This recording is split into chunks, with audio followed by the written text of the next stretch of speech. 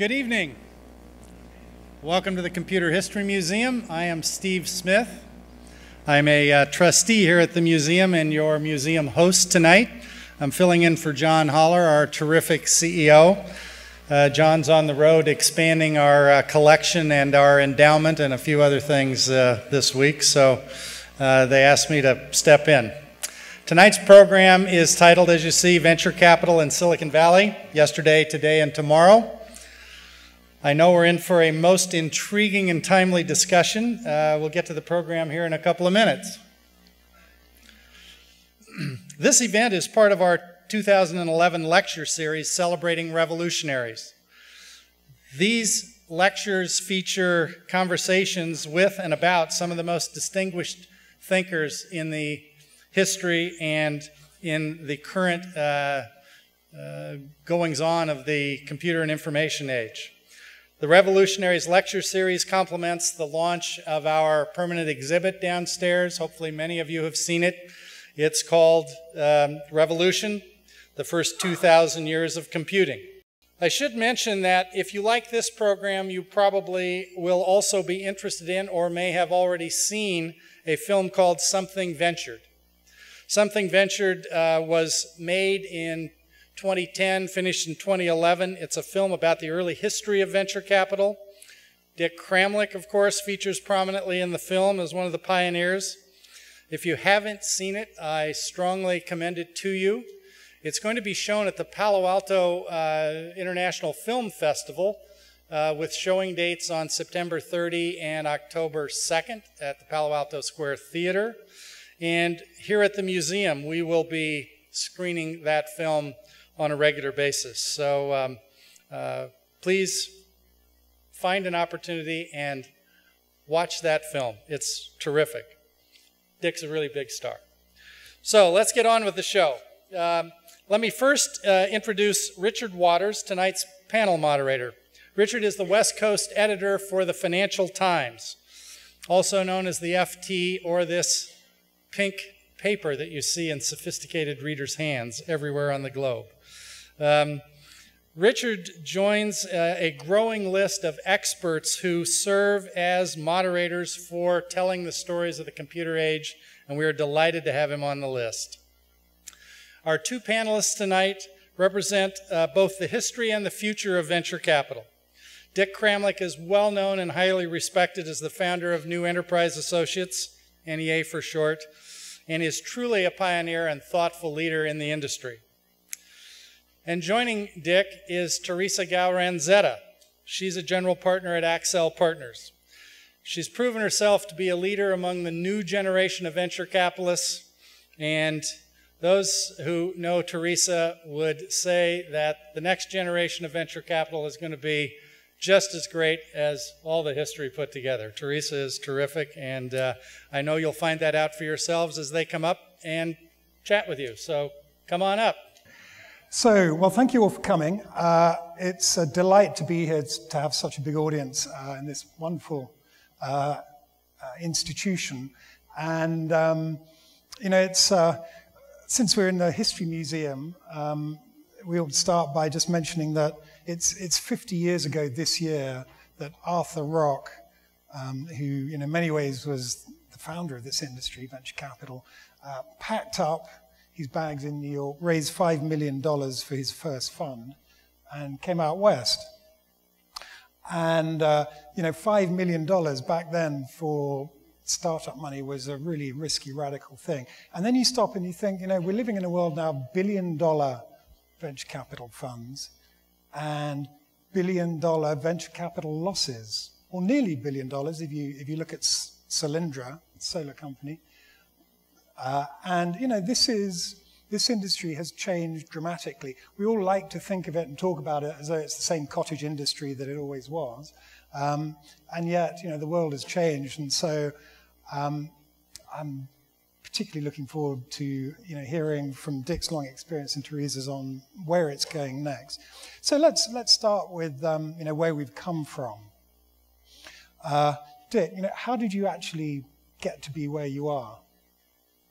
Uh, by listening to my uh, inner thoughts. Uh, seriously, uh, you know, I've always, uh, I've always been uh, an advocate of the entrepreneurial process. From the time I was, you know, old enough to pull a wagon, and um, my, I. So you're a born entrepreneur. I was a born entrepreneur, and my grandfather and father both started their own companies, and um, and I, you know, it's just I sort of the American creed. I just believed in it. I think uh, I, I'm an advocate of human development, human growth. I like to see people win, and um, so I, um, I, it comes really straight from my personal philosophy.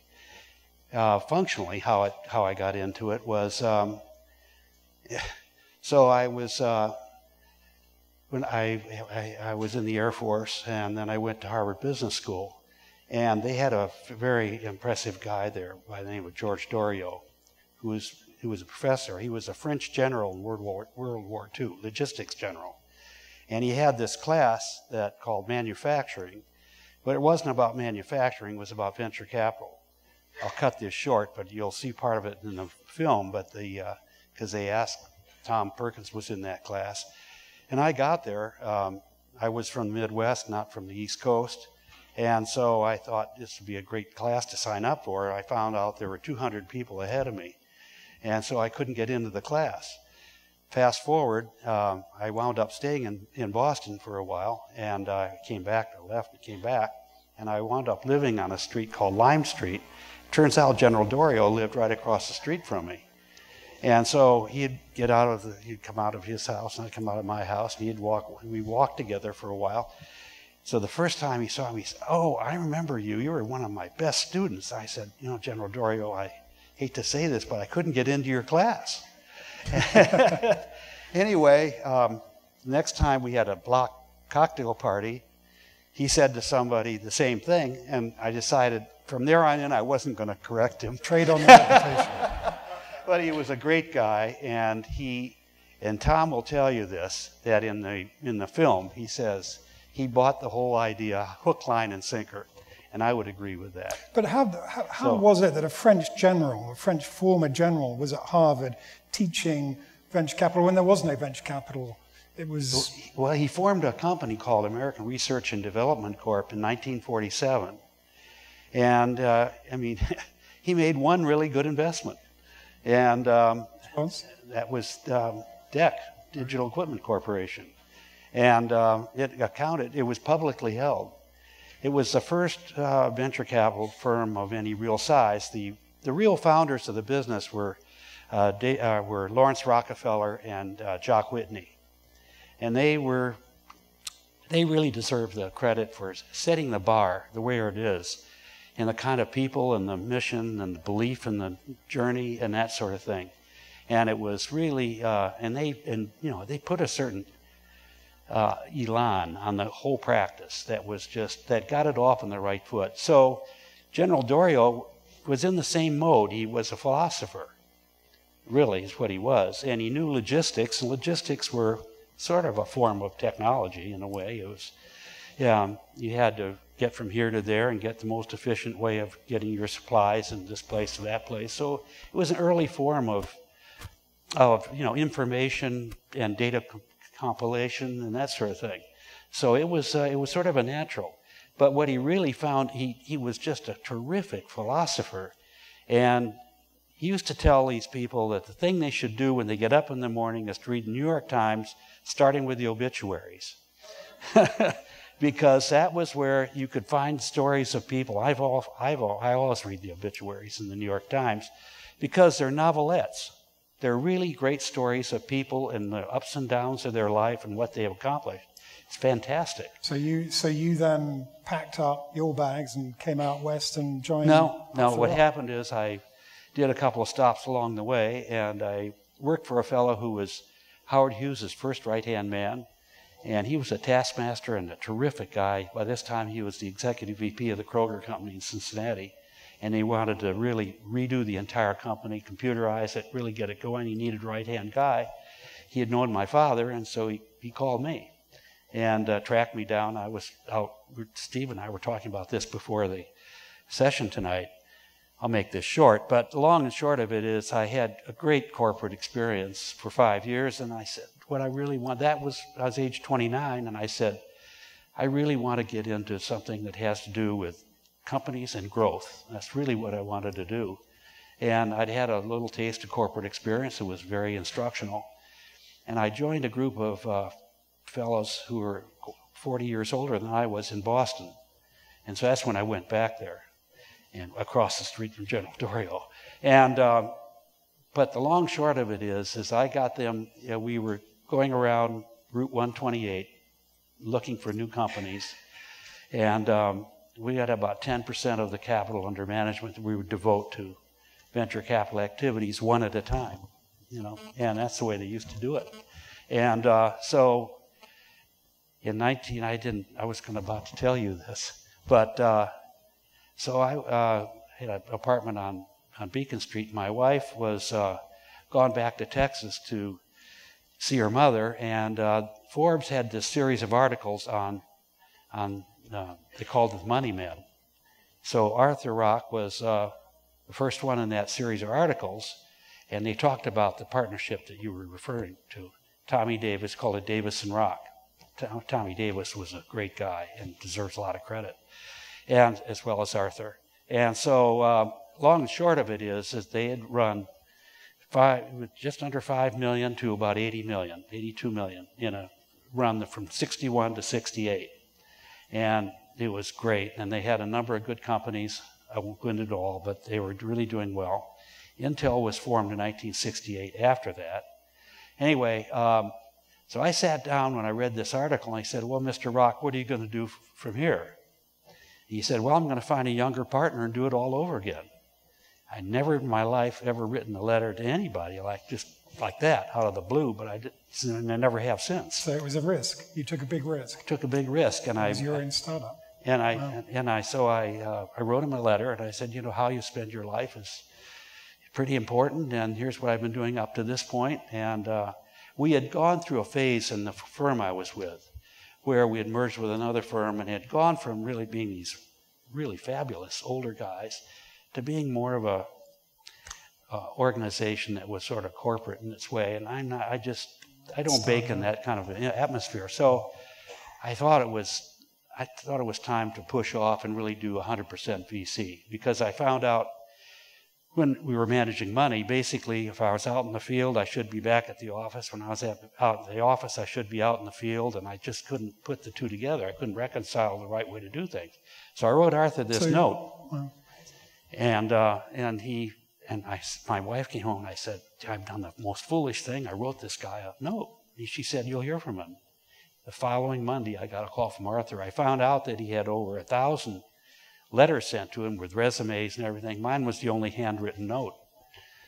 I didn't know much about it. So evidently, he, he sent it out to uh, a handwriting expert. And I. so uh, people asked me about that note, and I said, I, I didn't think anything about it. It must have been up and to the right.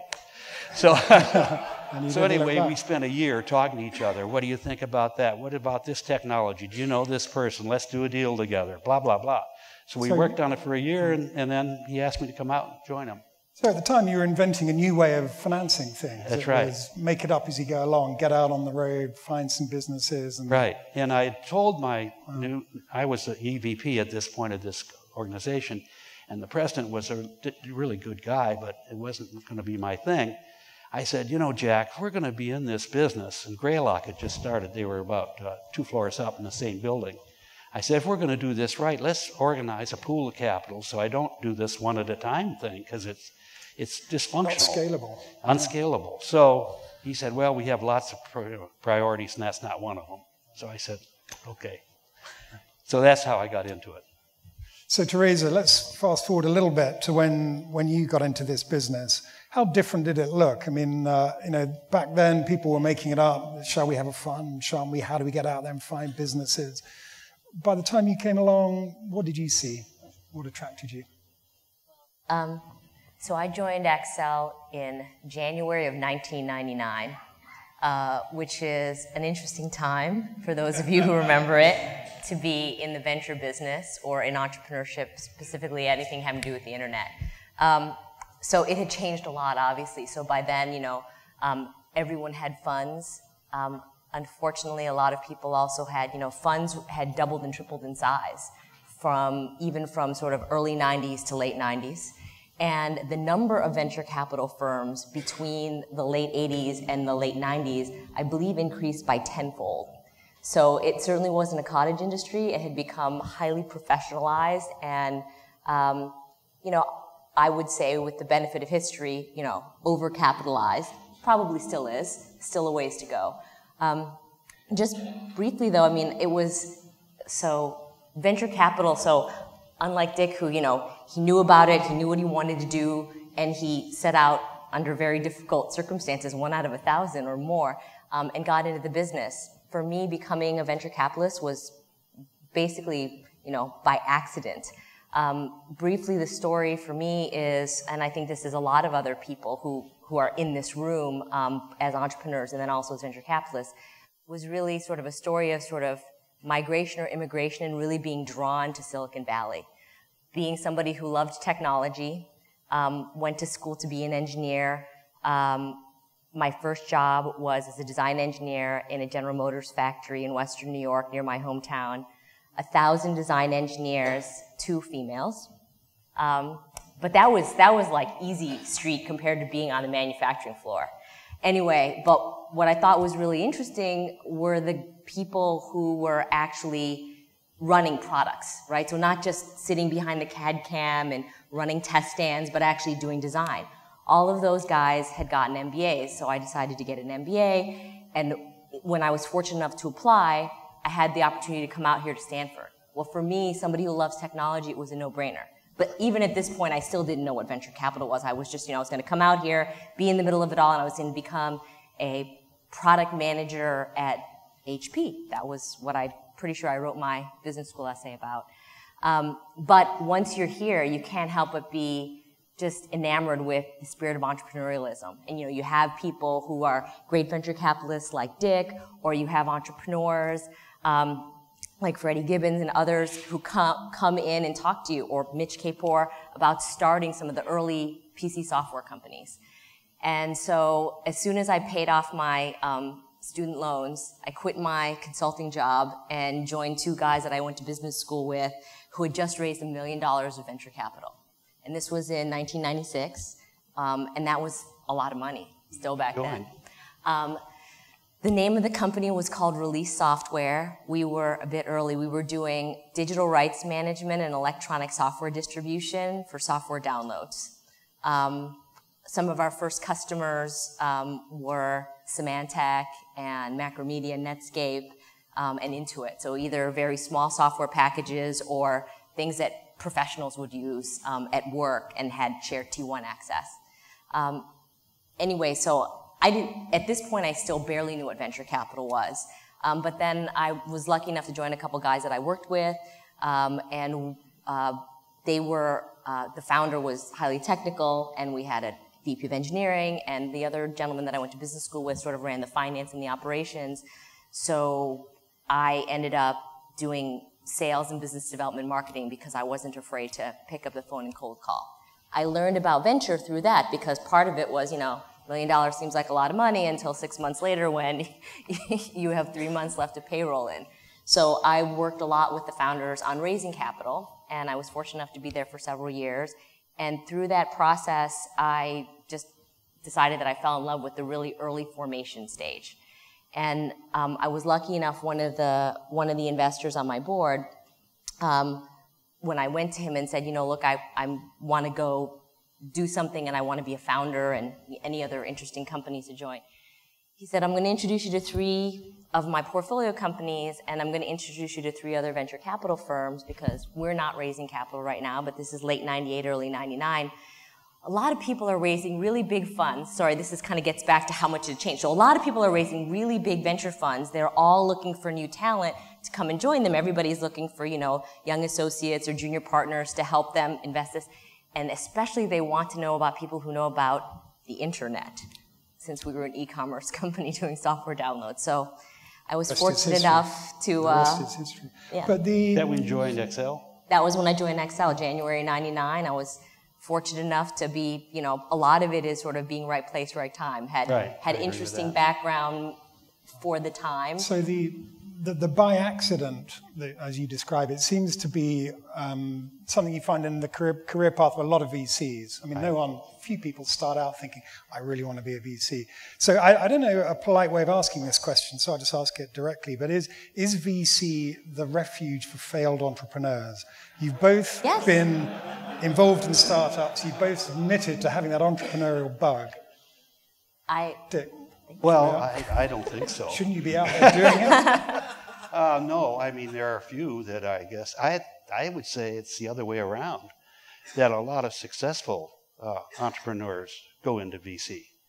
Yeah, but it's uh, if I understand your question properly. Uh, I mean I I don't think a failed entrepreneur should be a VC necessarily, unless he's capped a failure with a success. Uh, you know, so I mean, we we know that one of the the bylines. Deep, deep, down, do you wish you were running your own? Well, you are running your own business, but did you did you always want to be a an entrepreneur? I you put your finger on it. I feel that my entrepreneurial instincts are really put to work in help, helping to build uh, new enterprise associates. I felt that's an entrepreneurial activity. When we started the firm, the two partners and I, one of them particularly, said, let's build a partnership that's going to last for a hundred years. So we actually set up all the precepts of what we did in the very beginning. We said shared values, shared, shared goals, shared values, and shared rewards. So we did it an entirely different way than most of the firms in our business do it. So what, so what makes a, what makes a good VC? Um, you talked about your backgrounds, you, you know, so business school, some business experience, finding your way into financing. When you, when you look at the profile of the VC industry, I think an NVCA survey from a couple of years ago showed that you know, very high proportion of VCs have MBAs. Relatively small number have engineering degrees. So a lot of, something like 19% with engineering background and 68% with MBAs. Uh, so, and then one in eight from Harvard. One in eight from Harvard. So um, there is a certain background that's. It's all because of General Doriot. It's all because of General Doriot. um, but, um, and, and obviously very large, largely male. So I think something like 86% of the people in that survey who made investment decisions were male. When was this so survey taken? This was two years ago. Two years ago. Yeah. So it seems to be you know, a, a type rather than um, entrepreneurs. We're getting a lot of MBAs in the industry. Is that I would say I, the fault I find with those statistics is largely on the engineering side. We have two thirds of our people are engineers. And uh, a, half of them, the, on the med side, we have uh, MD, MBAs, um, some of them combinations, or they're just strictly MDs or PhDs in, in biotech, biopharma. But on the tech side, I would say that uh, you know uh, almost half of them have run their own companies successfully. Similar experience?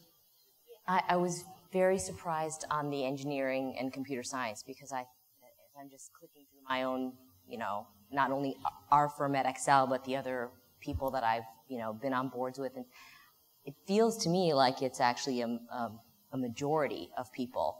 Um, I don't know if it's 50, 60, it's not 100, but a majority of people have engineering or technical degrees at some point. I think the other thing about your statistic, which I'm sure is accurate, is, and it gets back to your first question, Richard, which is there's been a lot of evolution in, you know, in the venture capital business, both as a business, from being sort of having to raise funds deal by deal to having, you know, hundred million dollar, billion dollar funds, but also the type of person coming into the business. So I think that, you know, look, the reality is if you are interested if you were interested in, in business and technology at all in the, I would say, for me, even in the 80s, you know, there was a path. You got a bachelor's degree in engineering or computer science, and then yes, you went and you got your MBA. And I'm not surprised it's Harvard because, you know, um, even today, Harvard graduates a much larger MBA class than, say, Stanford does, for example.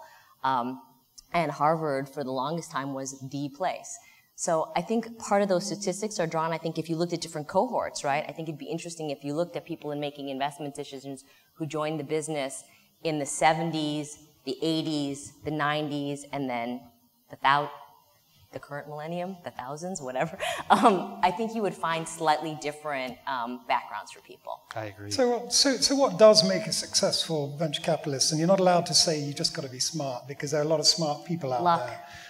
And you're not allowed to say just luck because that's the other thing you hear a lot here. But uh, when you say, or, well, let me reinterpret that. When you say luck, you presumably mean put yourself in the right position to see the right, the best deals.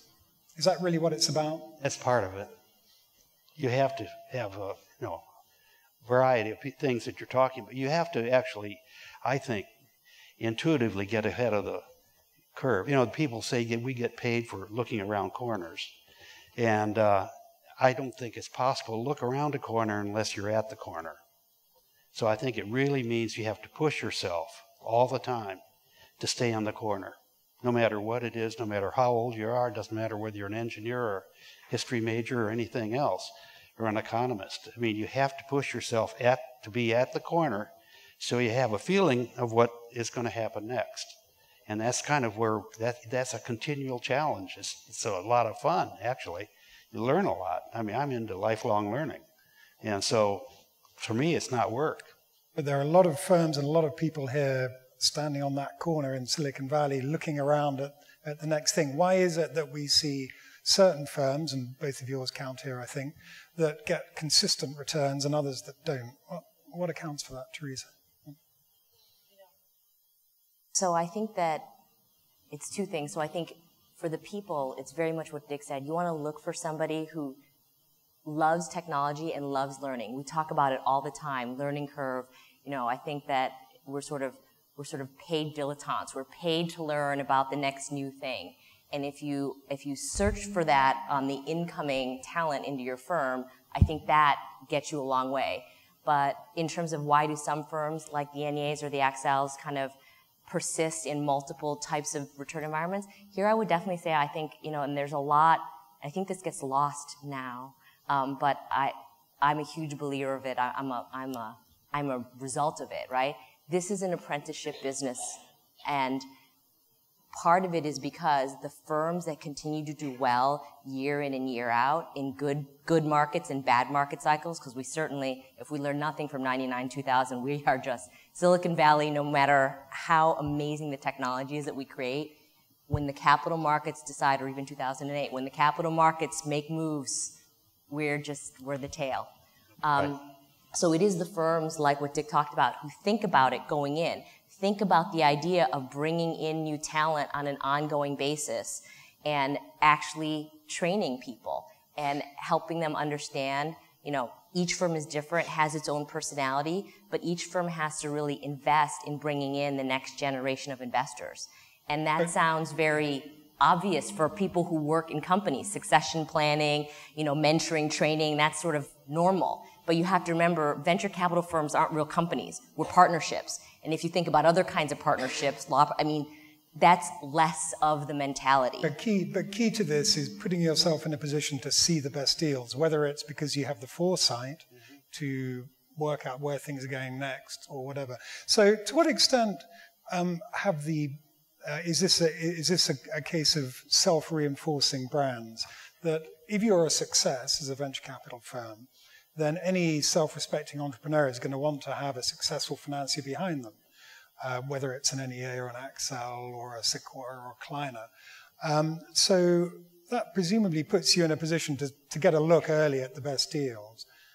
Is that really what, what this industry is all about? That uh, It's changed a lot. I'd just like to inject one other thing. And first of all, uh, I'll make two brief comments. Number one is that uh, our the talent in our firm starts at the bottom. Let me tell you, there is no question in my mind the smartest people in the room are the people who are the youngest people in our firm. And the refreshing of those, we have interns, et cetera, et cetera, and the youngest partners. I mean, they're just they're just very bright people with oftentimes a lot of experience. The second thing, and the most important thing, are the character of the people, the personality of the people, and the skills of the people that we're partnering with. We look at entrepreneurs as partners. And that's the way we try to handle ourselves. We, we look at this on a long term basis, and these take years. So I'd say it really comes down to judgment of people. I think one of the most important things a partner can be for another partner is to save him or her from, her, from herself or himself. Because all of us have shortcomings. But if you can say, you know, Richard, you're mostly right about this person, except is that, you know, this is a lonely business, and this is a business going to take, you know, you know, and in athletics, you think of sustained effort as the differentiator between a good athlete and a great athlete. And when you dig below the surface, you'll find great athletes are have sustained effort. And so that's what you're really doing is you're using common sense to evaluate somebody else's dedication to this mission that is one of the hardest things they'll ever do in their life. What little, what little tricks have you developed over the years to make sure that you get your foot in the door before Theresia and Accel turn up or anybody else? Come on, tell us the truth, Dick. I don't think there's any network? one way. It's about the network, your personal Yeah, network. it's, you know, uh, 60% of the people in our firm, in our companies are people we've worked with before. And they know our DNA, we know their DNA, and they know we're straight shooters, and we expect them to be straight shooters, and, and we have a mission. There are oftentimes the odds are against you, but sometimes if you uh, persevere and uh, are lucky, I agree with luck, you know, it'll work out right. What do you do, Theresia? Apart from trust your luck, what, what do you do to make sure you get the best deals? Well, I think luck is about all the things that you talked about, right? So, which is, you know, it certainly helps to get to your question about brands and being self reinforcing. It certainly helps to increase your chances of being lucky if you can see more. And it's true that your chances of sort of coverage, deal coverage, which is if you've got some interesting companies in the portfolio, other other entrepreneurs will be drawn to speaking to the financiers of like, oh, I like you know Groupon or Facebook or whoever. I have a company sort of like that. I want to go try to find the people who back those entrepreneurs. But the difference, and this is why I, I keep talking about it's about continually bringing on more and more people. There are many, you know, there are many more fine venture firms that are not like NEA, who have not survived. I mean, some of the biggest backers of some of the companies in the early 80s, TVI and MPAE, great firms, right? But they don't sustain. And so you have to constantly be bringing in new talent. I guess I feel it even more now. I mean, I spend, I split my time between security software and consumer internet. And in consumer internet, I think, I counted it up last year because someone asked me the stat. I think the last six investments I've made, there was only one founder who was over the age of 30. so um, you're feeling old already. Yes, absolutely. I mean, these are people who, I mean, they don't, they barely remember before there was an internet.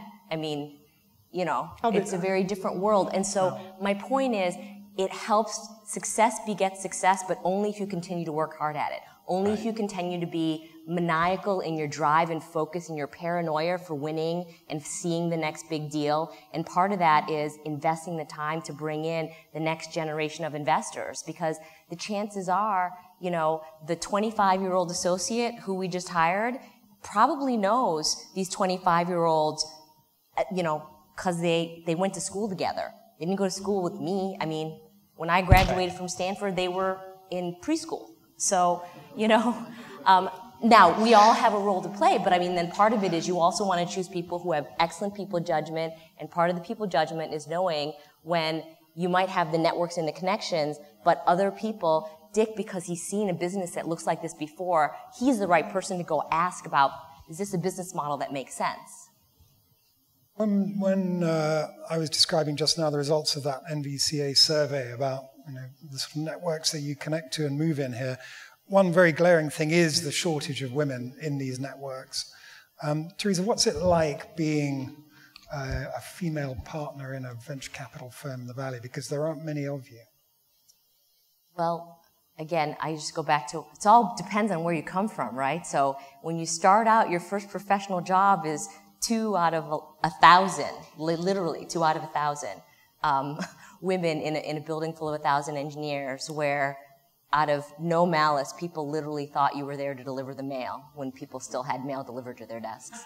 Um, you know, I guess it's all relative. So, so my view is I think Silicon Valley is like a wonderful, amazing meritocracy.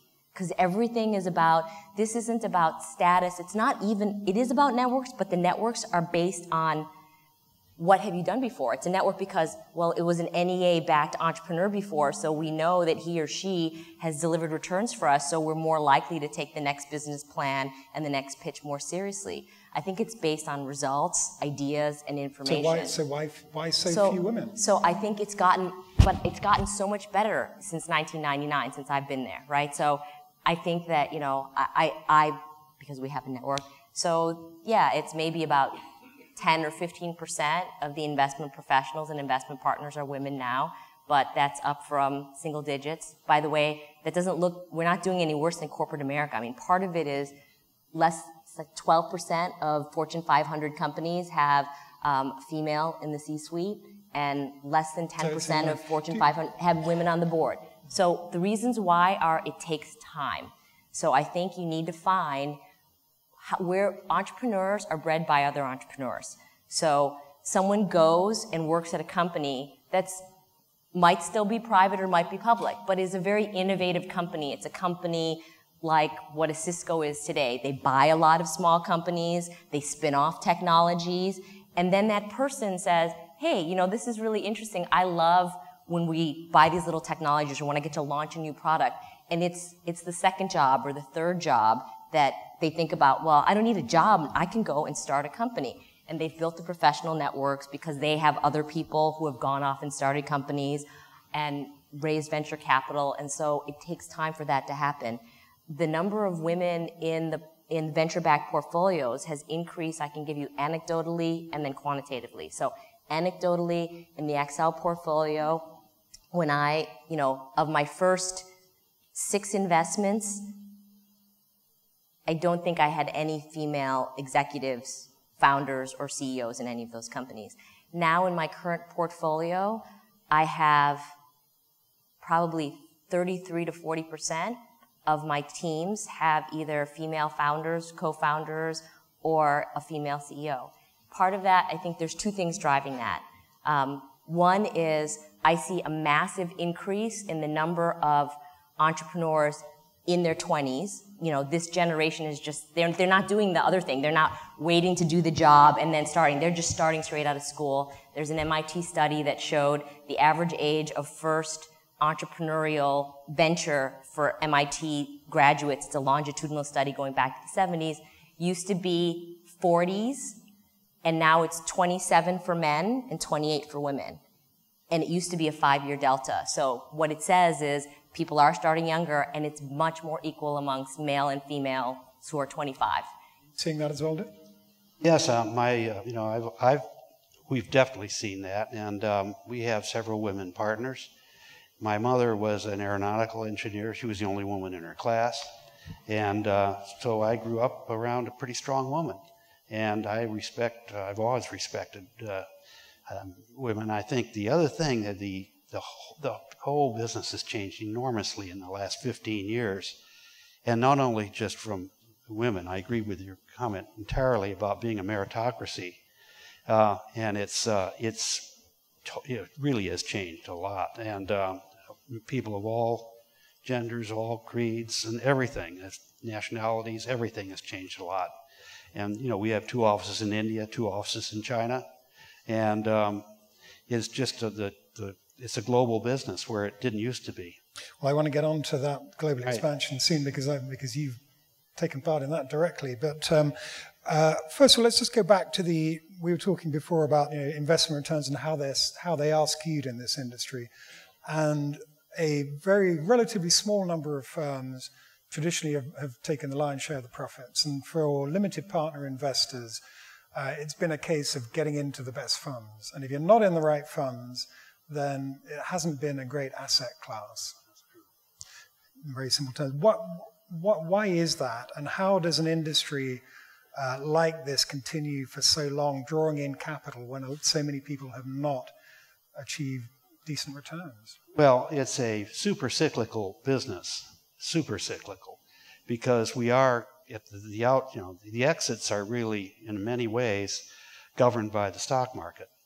And uh, so that you're going to find these periods where you're just basically foreclosed and the only way out is a, is a, is a merger. So, um, so starting with that, super cyclical. The second thing is that these partnerships are anywhere from seven to 12 years long. Ours are 12 years. And so that they uh, either succeed or they wither away on a very gradual basis. It takes a long time. It's, I call it slow motion death for the ones that are slow motion death. Death, right. It's just, it's really, in a lot of companies, and they depends on how you handle your fee structures, what they are. Do you pay the fees back or don't you? And uh, so there are a lot of structural aspects to the business that are, you know, over, over if you impose that on top of the super cyclicality, you have to get somewhere into a wave where you're at least syncopated, perhaps with luck, perhaps with foresight, so that you can at least, you know, have a chance of succeeding yourself. And uh, so I think that's a so those those are aspects. Why does so the returns in the and the returns in the in the decade ending 2010 were really the poorest decade in, in history for the venture capital industry. And yet there were times during that decade where you could exit briefly for periods of time. I mean, in 02, I think it was, and 07 and 8, during very brief periods of time. But it's, uh, so the answer, the answer is um, it went through a cycle. I like to think of this as a, not a surprise because the industry really just started in 46. It went through an it went through it was a 15 year development program uh, in the early 60s, and then it was gradual and went into quiescence in the 70s. It really started for real around 1980. We started in 1977, and and then you know it, then it peaked in a, in the year 2000 where we had over 100 billion dollars of capital came into the business, way overfunded.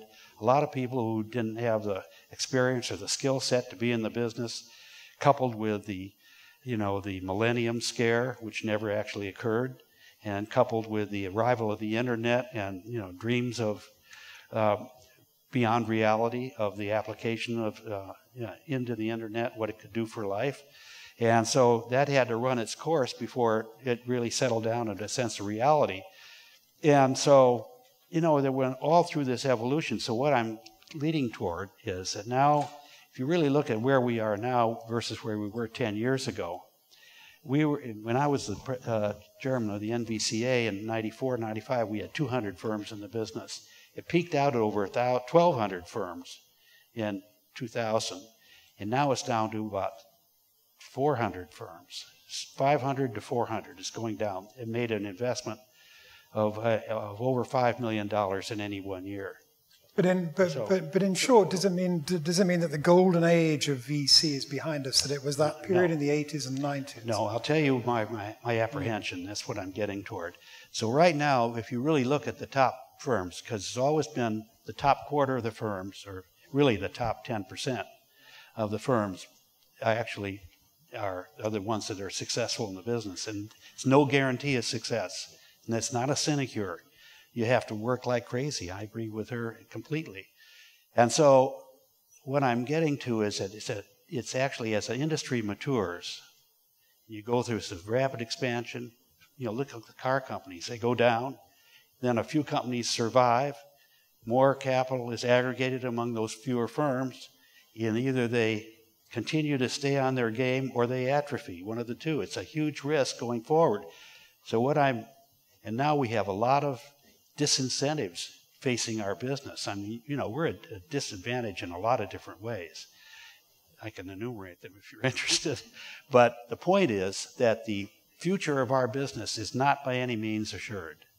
And I think if, you know, we get uh, lumped in with the private equity firms and the uh, hedge funds into you know, not having carried interest be capital gains, it's a disaster for our business. I knew we were going to get onto carried interest so and tax at so what point. I'm saying we're not going is to get this, into that is, one. Is yeah. that the we have we're facing a considerable risk going forward. We have 15 or 20 firms that actually can can field a team that knows has all the attributes that we've just been talking about. So it's it's a high risk going forward. If we look at those returns over the last 10 years, I mean, the, the VC industry has taken in more cash than it's paid out because there haven't been these sort of big exit periods you've talked about.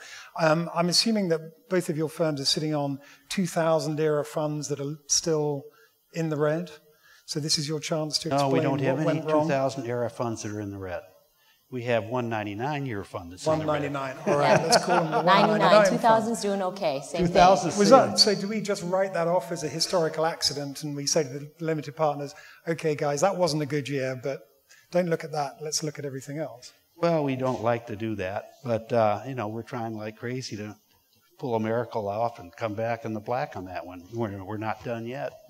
So um, you know the answer is no. We're not going to hide it. It's a bad year. 99 was a tough year. If you're in the black in a 99, you're in the top quartile. But, the, but anyway, that's the uh, the point is that is that we uh, it's a in under any any metric you want to devise, other than the last 10 year metric, venture is the most successful asset class there is. It's because it's backing entrepreneurs who create new things, innovation. We're going to take questions, by the way, um, later on. And in, in 10 or 15 minutes, we'll collect questions. You should have cards you can pose your question on. And I'll try and squeeze as many in as I can. Um, Theresia, what do you think about um, this returns question? Um, are returns ever going to be as good as they were in the 80s and 90s when they were consistently in the 20 and 30 percent? Or Range higher, a lot higher, actually.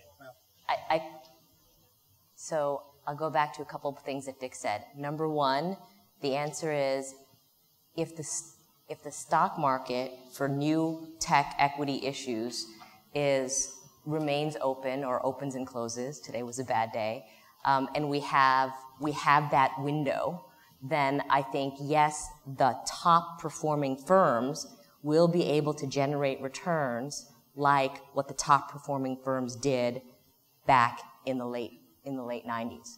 But we are completely creatures of, you know, what's the stock market return going to be for, for NASDAQ? What's the openness for tech IPO issues?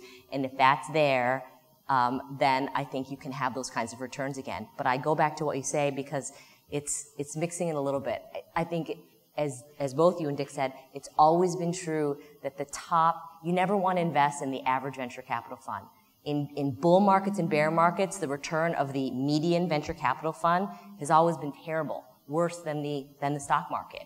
But in any market, good and bad, um, you want to be, because take 99. Okay, well, if you're, if you're at like 90 cents or 95 cents on the dollar for 99, well, that's not good in absolute, but what other asset, like 99 was terrible in all asset classes, right? So it's all relative because you're, you're thinking about when you're, when you're, when you're our clients, the LPs, asset managers, university endowments, you're trying to figure out both, you know, growth of capital, preservation of capital in down markets. You want to lose less in down markets and make more in up markets. Um, and so I think that it's, it's true if you actually, if you don't look at the overall Cambridge statistics, ask LPs, do you think it's still a good investment to invest in the top decile or top 10 venture capital funds in good markets and bads? Every single one of them will say yes. But to answer the other question that you asked about why do people keep investing when they look at the average returns, it's always it's a combination of greed and fear. In in up markets, they know that it's always true about the top 10, but the top 10 doesn't stay exactly the same. Eight of them might stay the same from one cycle to the next, but there's always two new ones. So everyone's out there trying to find the two next ones, right? And then in, in the fear markets on the bad side, right, it's like, well, you know, you don't want to be, you don't want to be the one who didn't get into the fund that had, you know, Apple or Google or Cisco or maybe Facebook because you're going to get measured against all the other asset managers. And if you don't have that in your portfolio, you're never going to catch up. So, Could I say one thing? yeah. The other thing that's really significant is the uh, the way that companies are started, and we are in a whole new era on that. I'm, I like to say that I'm really thrilled to have lasted as long as I have in this business because, you know, I'm, i being basically egalitarian in the way I look at things. We are finally in a in an era where the individual is in charge of their own universe because the technology, Apple was the first company that actually designed itself to be user dominated. In other words, the user really was able, and they've carried through the philosophy from day one to now. And what's really happened is now with the with Web 2.0, uh, what we have in the social networking is a perfect example of this, is that now you can start companies on far less money than you ever could before. And so instead of you know having to build out these huge systems companies and go through all a lot of things that where you didn't really know how the consumer really felt about what was going on, consumers will tell you today. And what you can do is by using uh, all the tools that we have at our disposal, you can start a company on a half a million or a million dollars. So why, why do we need billion dollar venture capital funds? It remains to be seen. uh, you know, because, because I think that we have to have the talent within the firms to actually respond to all levels of investment. There's a, also, there are gaps in the marketplace. Private debt, we don't use any uh, debt as leverage, but we have growth equity as a component of our overall picture. And in those cases, you know, it's going to take 30, 40, 50 million dollars in an incremental way in order to get to the really value creation point in a company's existence. Those are so other needs, as well as this very efficient way of starting new companies. So you're going to be placing bigger bets on fewer companies, Theresia. Got to and, be balanced. And I think, I think that it's absolutely true that uh, I mean, even since 99, 2000 to now, the amount of capital it takes to sort of launch a consumer facing mobile or web property and see if it starts to work is definitely on the scale of a million or less. But why do you need more capital? Because the reality is when something really works, then the entrepreneur wants to invest more in order to grow faster. So that means, you know, either more, so great, you can prove that you can get 10,000 mobile app downloads on $500,000, but now you need a lot more engineers for features, you need to build your second app, you need infrastructure. And the second point, which you touched on briefly, but I think the global nature of our business, of our companies' businesses becoming global almost immediately is both a massive opportunity, which is another reason why I think there's tons of reason to believe that the companies we invest in now can be so much bigger, so much more quickly than they have been before. And I know there's, you know, so some companies that, that, that are out there that we can't talk about right now where those numbers are out there. But it's also at the same time there's capital need for that, right? I mean, if you want to be launched in in China and India and Russia and the United States and UK and Brazil all at the same time, I mean, 500K or 700K isn't going to do it anymore. Right. All you've done is prove the concept. Exactly. Getting to proof of concept is much more capital efficient, but alternatively, because the size of the markets is so much larger, I think the total amount of capital until you sort of hit your sort of growth equilibrium point is larger. I've got a lot of questions stacking up here, so I'm going to ask you to really compress these answers now because I'm going to try and pack some in. Um, just to go back to this question of the window that you raised, Theresia. Um, you know, the, the, the, other view that you hear in the Valley is actually a good company can go public whenever. eBay went public yes. in the fall of 98 after the Russian default and didn't stop eBay. Um, is there, um, and we assume that Facebook could go public tomorrow if they wanted to, is there an issue now uh, with the quality of uh, the pipeline that we're seeing coming out of or coming coming towards Wall Street, where everything seems now to have suddenly stopped? Um, are we not? Does this mean that we just don't have the great businesses now that are ready in any market? No, I, knowing what knowing what I know about the size and scale of some of the companies that are Groupon is still private. Both of I, ours. Yeah. So I I don't think that's the case. So I think it is absolutely true that great companies, not good companies, great companies. Great companies. Great companies can go public in any market, right? You can talk about eBay, you can talk about Netscape, um, you can talk about a lot of companies that can do that. But I think that um, good companies, so companies which are growing very quickly and are within a quarter or two of profitability, there are windows when the market's open for them and windows when it's closed. Because when the market is feeling, you know, greedy, it, it's over-indexing towards growth and willing to sort of pay forward on investments because they believe that the model is converging. And in other markets, when they're really focused on profitability, I think that's when it's harder for high growth tech companies like the kind that we have primarily here in the Valley. It's harder for them to go public. There are other places for an asset manager to get you know, more sure returns in big cap stocks, maybe not even tech, um, and, and it will go that way. Um, I don't think the quality of the companies in the pipeline, if you look at it now, I mean, go back in time, right? What was what was the cumulative uh, revenue for eBay in the 12 months before they went public? See that. 1.2 million dollars. Anybody who's got the Fortune bubble article can correct me. It was one point something, right?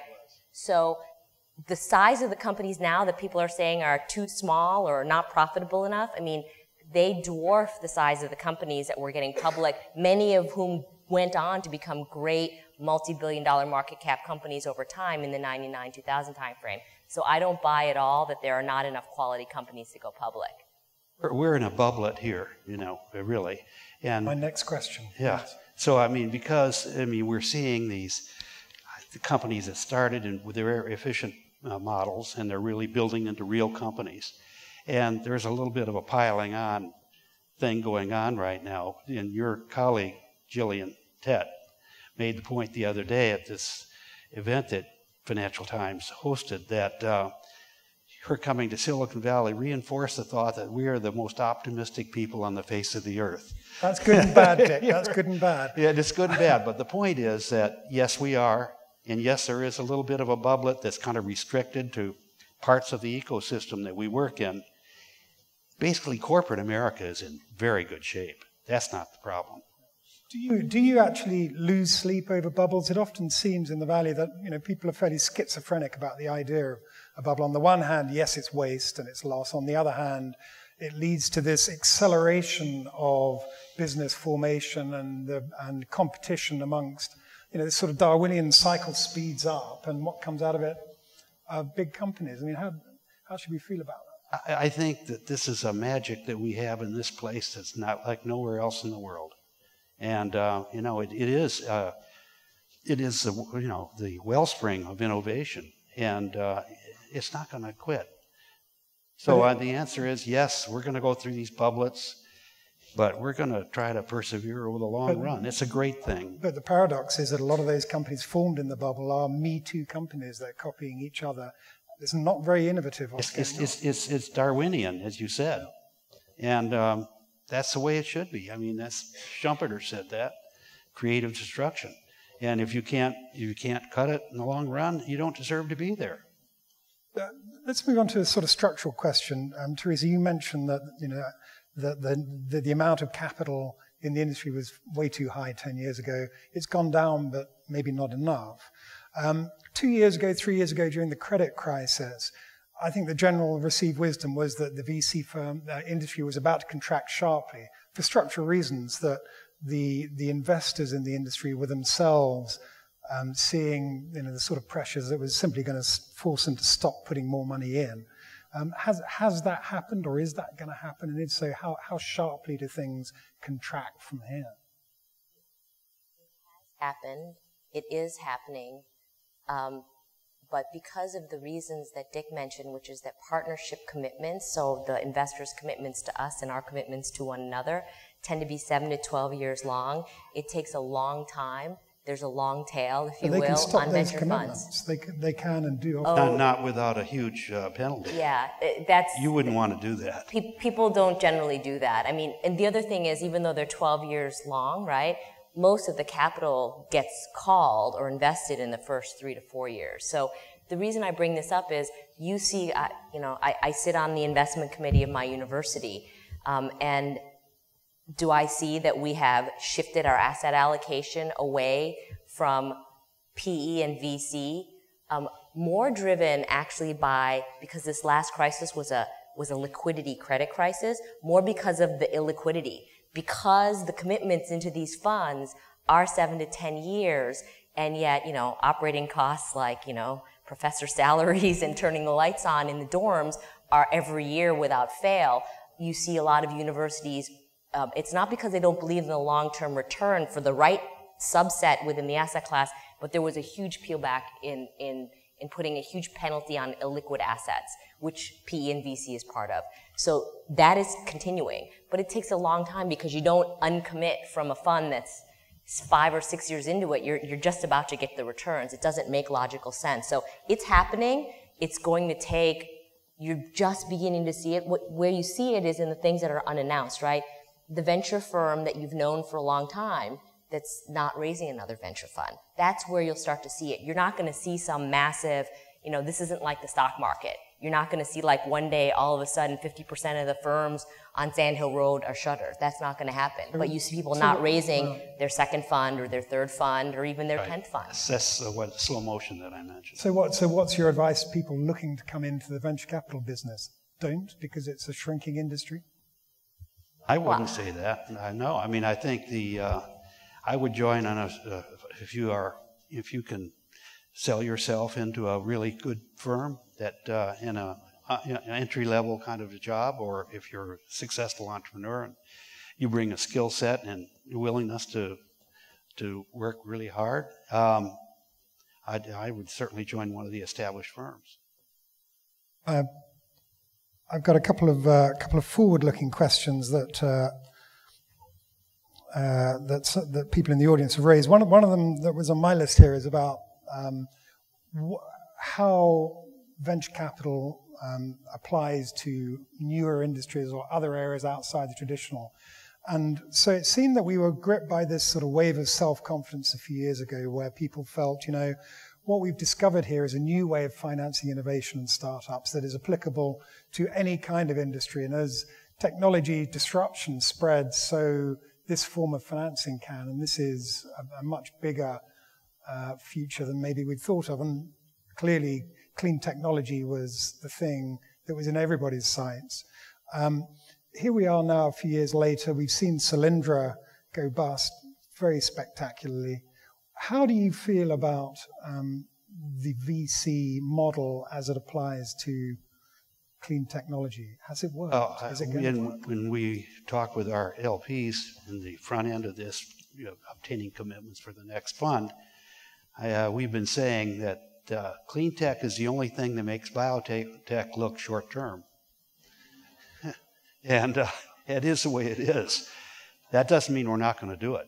We are going to do it because it's a there are lots, there are massive uh, needs in this area.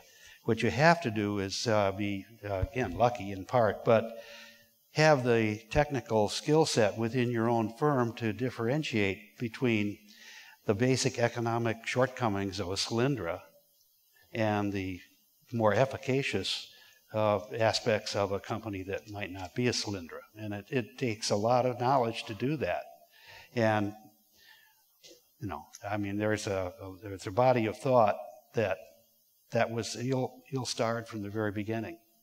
Solyndra, because of the tech, because he had to go two, through two layers of technology investment before he really got a product, and then the end result is he couldn't compete.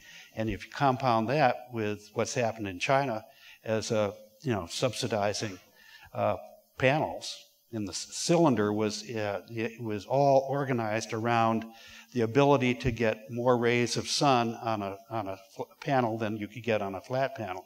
I mean, in the end day, at the end of the day, that isn't a very big deal when you get to, because of the the, the fundamental um, aspects of doing flat panels being so commodity-like.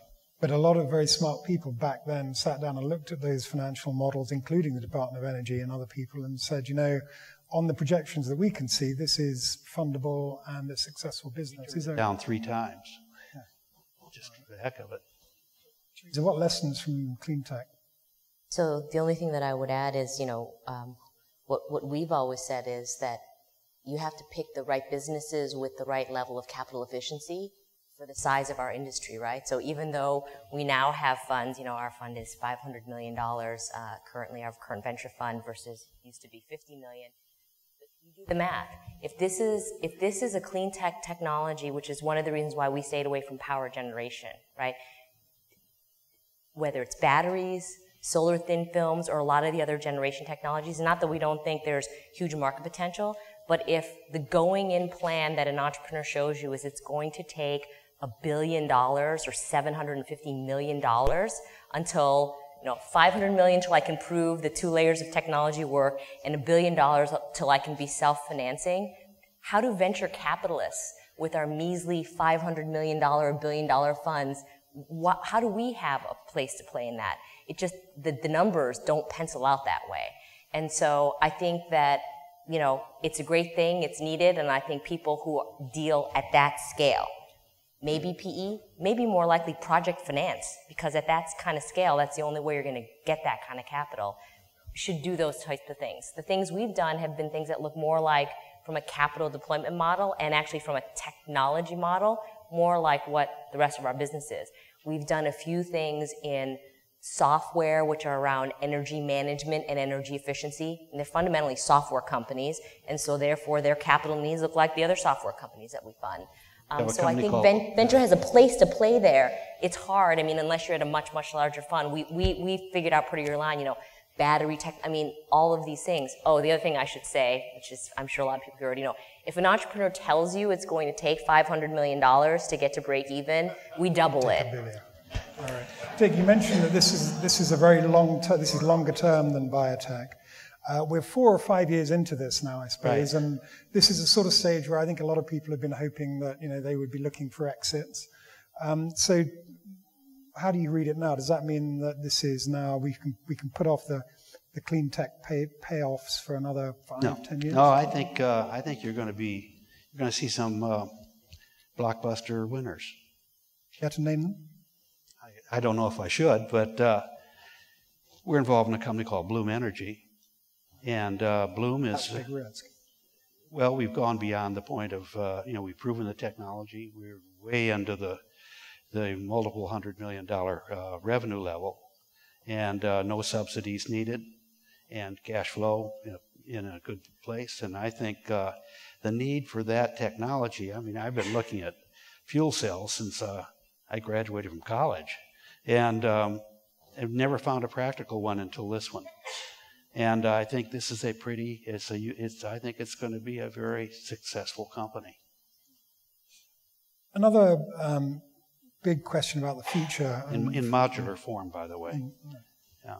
Another big question for the future and for the entire valley right now is obviously China, the China question. When I came here uh, nearly 10 years ago, I, I, can remember talking to a partner in one big valley firm who said, you know, there's no way we're going to play in China because they'd eat our lunch. You know, venture capital is a, is a local business where it's all about knowing the people across the street and the other side of the Stanford campus.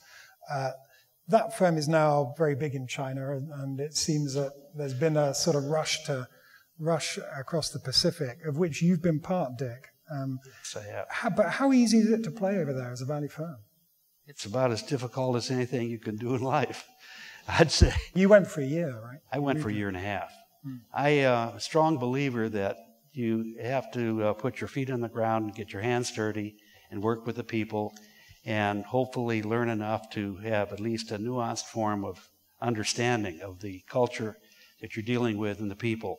If you fly in and fly out, it's a pretty superficial way of doing things.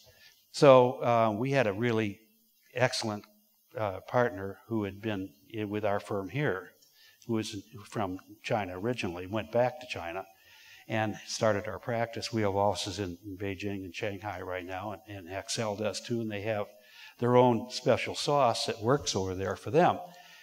Um, my job going over there was not so much to figure out what we were doing, but rather what we weren't doing. The end result is that uh, it worked out really well, and uh, it's working out very well. And um, so we've had uh, we've done some four successful round trips where we had put the money in, came out, worked out well. So, what, what proportion of your funds do you think you'll be investing in China in well, we, we put aside uh, for planning purposes because we, we invest out of one fund. We don't organize country funds. Uh, so we, in our planning, we said approximately 10% of NEA 13 was going to be in each of India and China. It uh, actually looks as though we'll probably wind up with about 5% in China and about 6% in India and we have good teams, and, and we have 24 companies in China now. So I, I think, again, it's all about getting on the ground and common sense, people assessment, making sure the goals are aligned. I mean, goal alignment to me is the magic phrase. You have to make sure the people you're working with, and when you have mistakes made, it's usually because there have been some kink in this goal alignment. If you're you and the entrepreneur are on the same page or aspiring to have the same thing happen. That's, and that's the deal in China and India too. You have to be sure that we're not working at odds with each other. So, how do you uh, feel about China right now, particularly given the valuations uh, over there being extremely high? Is there a bubble over there that uh, makes it a difficult market to play in?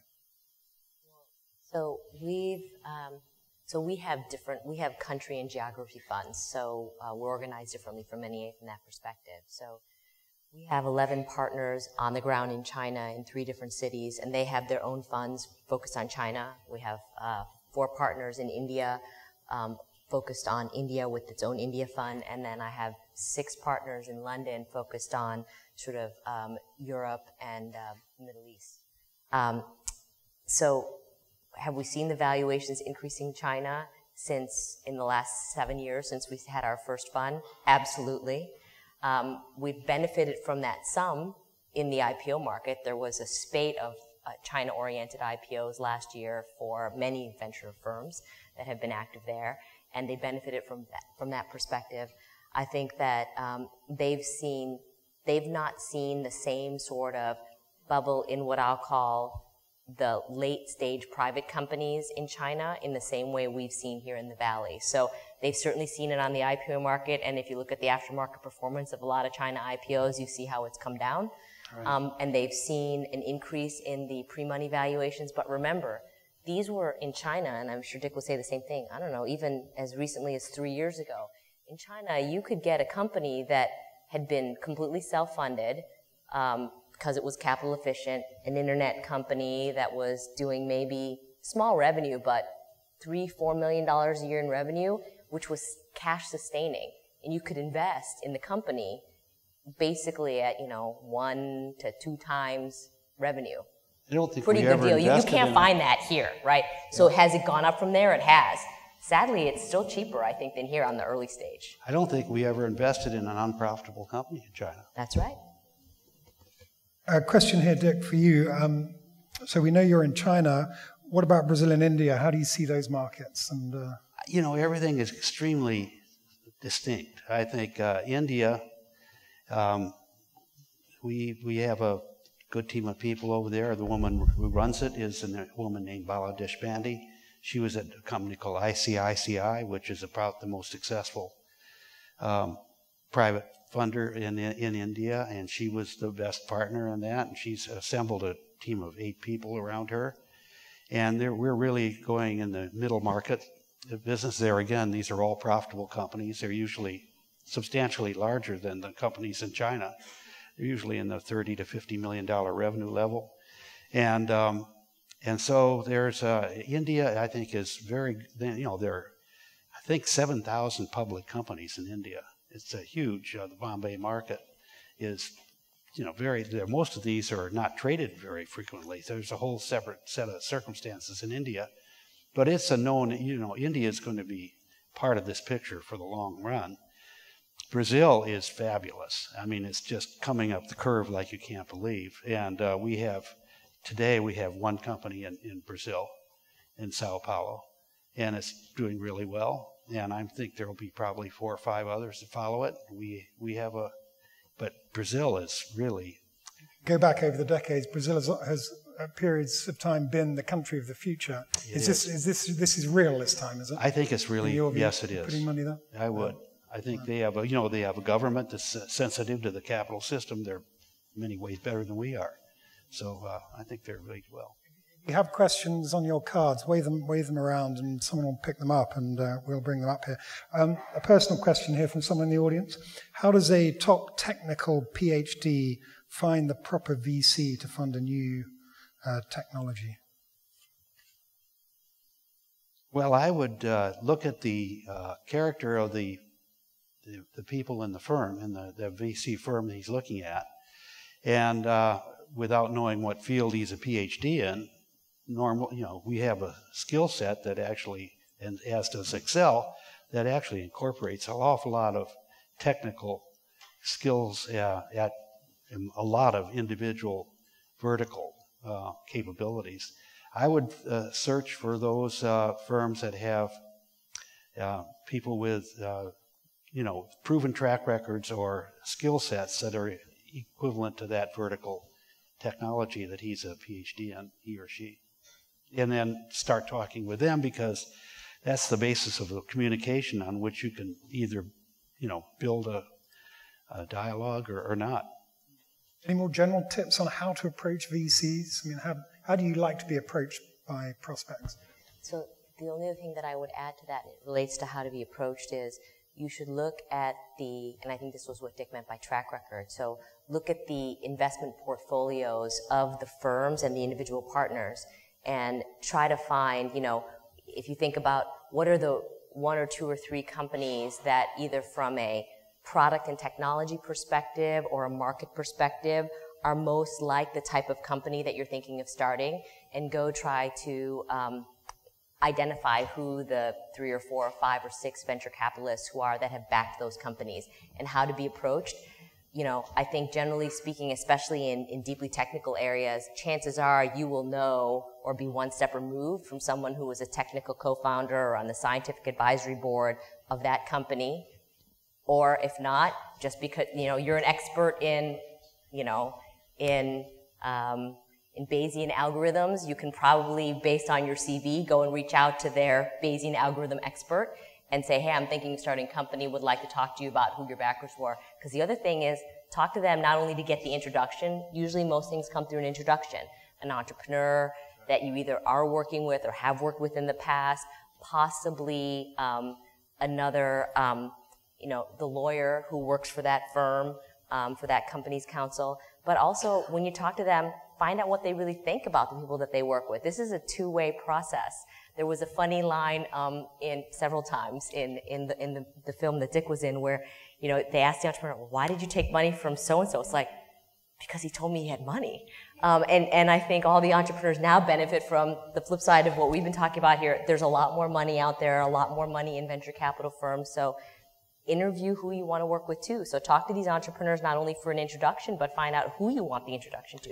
Who I, they I enjoy have another working idea. with. You know, Silicon Valley Bank, of which I happen to be lucky enough to be a director, uh, was one of the sponsors tonight. And what I would do is go talk to your banker at Silicon Valley Bank. Talk to your banker. That's Yeah, original. they will. They know what there is to know about the venture business. Now, uh, there's a certain theme emerging from some of the questions here, and I would call it social media fatigue. Um, just to give you a sample, uh, in the past, VCs funded mostly companies with deep technologies that improve productivity. In the present, VCs fund mostly social networking companies that reduce productivity. Uh, or to put it differently, to put it differently, do you think VCs should begin investing more heavily in and supporting R&D to help significant technological breakthroughs, not Twitter, Facebook, etc.? Too much? Too much social media? I don't think so. Uh, I mean, I think it's. I don't disagree with part of that, but um, you know, these are they're changing the habits of people. That's what I said about the individual being in charge of their universe. It's a whole different set of discussions. I mean, we ought to be backing, we and we do back a lot of development programs that are technical in nature, but there's, you know, this is a broad thing. There's a lot of room for social, for the benefits of the, uh, you know, the bottoms up social society that we're building. But the, I mean, the big, to, to put that question differently, the big waves of, uh, of technological development and company formation in the Valley have come from fundamental technology changes, whether it's the integrated circuit or the internet or whatever you want to describe it as. Is, is social media, the social media bubble right now, something that's simply floating along on the surface of that, or is it something more lasting? You know, um, we were over in Egypt uh, from, until January 15th of this year, and was with uh, Jim Swartz, one of the partners. Uh, and uh, it was just incredibly obvious the restiveness that was going on in Egypt and what had just happened in Tunisia. And all of this was, uh, you know, essentially the communications. This is a worldwide uh, phenomenon that's going on. You know, dictators can't get away with closing off the, even China, uh, closing off the, the what's really going on in the country from its citizens. I mean, that's a thing of the past. And a large, a large amount of that is, is the ability to, to communicate through uh, the internet, Facebook, uh, Twitter included. Other, what do you think, Theresia? three things about that. So number one, I agree with Dick completely that, you know, I think that the measure, if you talk to most of our entrepreneurs and, and what makes it so exciting to work with them is they all think they're changing the world. They don't all say, I'm creating a technology that's changing the world. Technology may enable me to do it, but they all think, and I know that sounds crazy. Believe me, I, and I met with all, as I'm sure Dick did, I met with all the people who are trying to, to do e-commerce for pet food and ship around 50 pound bags in 1999. But believe it or not, they all thought that they were changing the world. So I think that's the fundamental key thing about the entrepreneurial spirit. And I think it will be hard to argue seeing what's happened, you know, whether it's the types of things that Dick was talking about more recently, or if you go back to sort of how many of us got our information about what was happening um, with our partners and our companies in Mumbai during the terrorist attacks, if not for Twitter or Facebook. Right. So I think if one of the measures of a successful startup is changing behavior or the world in some way, it would be hard for me to say that, you know, and obviously I'm biased, it would be hard for me to say that social media companies aren't doing that. But there's two other things. One specifically on technology. Each of these large, so technology can enable the wave or the wave can enable new technologies. It goes both ways. It's That's a right. synergy. So some of you guys may know about, um, you know, next generation flash-based based storage, as a for example. Um, we happen to also be, and as is NEA, an investor in a company called Fusion IO, which went public earlier this Fabulous year. Fabulous company. Their number one company, and why we ultimately um, ended up investing in it was Facebook was their biggest installation. So these are the companies that are stressing the technology layers lower in the stack. If you go back in time, right? I hmm. mean, look at Amazon, an e-commerce company, a company that, you know, what's so world changing about shipping books from right. a warehouse in Washington? I mean, cloud computing and Amazon Web Services, I mean, that's because of what Amazon's been doing. There are countless technology companies that Google helped launch, right? And all and and other companies before them. So I think you can't just look at the surface of what the company does today. You need to look at this technology ecosystem is really an ecosystem. Technology, yes, fundamental change like the integrated circuit creates industries, but industries also create new technology needs in the infrastructure beneath that's real hardcore technology because that's where they create the stresses. That, that's why you, it's hard to be pessimistic about our future because these it's your optimism breaking through again. Dave. It is. we can't stop it. So it's really uh, it's really great to see these new forms of uh, communication and, and, intelligence going on. That's just absolutely great.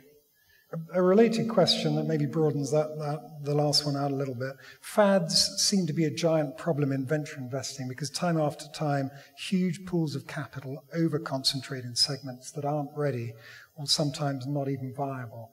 So, how do you prevent that repeated mistake. It's the it's the uh, capital it's the American way.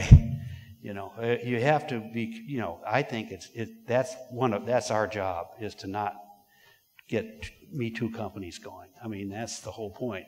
You know, ever since Fusion IO got to be so successful, two or three additional other companies have come up and tried to emulate what they're doing. It's not simple to do. Fusion IO is growing at 100% a year and profitable and just a great company, good management, the whole shot. But there are others. So, I mean, I think it's up to us to have the discipline not to do that. And it's, uh, it's what we, when we make decisions, we make them with full, all the, all the investing staff, we give everybody, uh, gives their opinion about a deal. And we don't do it from the top down, it's the bottom up. And then we record all the bits of advice and insights that people have about things, and ultimately uh, the decision is made. Thank all of you for uh, coming to the museum tonight. Uh, we really appreciate your interest in the topic. I mean, this is one of the fascinating topics and one of the broadest, most uh, relevant topics of what goes on around here, and the great representatives. Uh, I, I, personally could talk to these uh, three folks for the rest of the evening and enjoy every minute of it. They might not like it. Steve, uh, let me just say, I think this Computer History Museum has been uh, absolutely uh, found object of great value in this valley because you have a place to congregate, to discuss this kind of stuff. It affects all of our lives every day. and you have a place to memorialize past exploit, you know, past championship rings and stuff like that. It's Yeah. great. I just think it, this is what was needed in this valley. Well, thank you very much. Yeah.